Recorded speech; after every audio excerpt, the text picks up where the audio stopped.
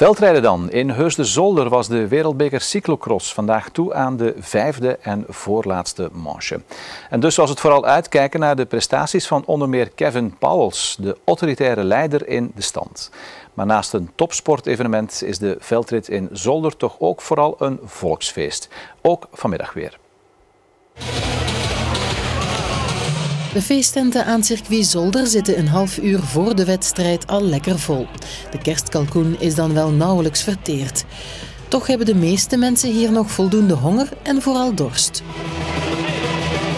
Nee, er kan altijd nog een beetje bij, maar we proberen het wel uh, fatsoenlijk te houden. Dat moet ook, hè? Ik ben verleden jaar hier geweest, het was een heel groot feest. En we gaan dit jaar nog een groter feest maken. In Huizen Zolder, dank u voor al die mensen die hier komen. Ik kom voor Erik van der Aarde, maar die vertrekt er meer, schijnt.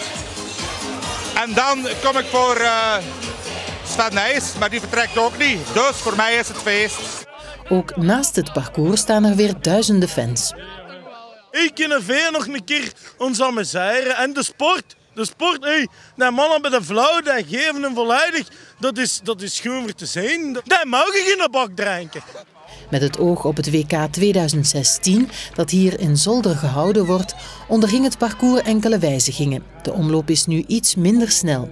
En dat is een voordeel, vindt althans Kevin Powels. En de rest bij ook alles goed? Is het goed bezig, ja?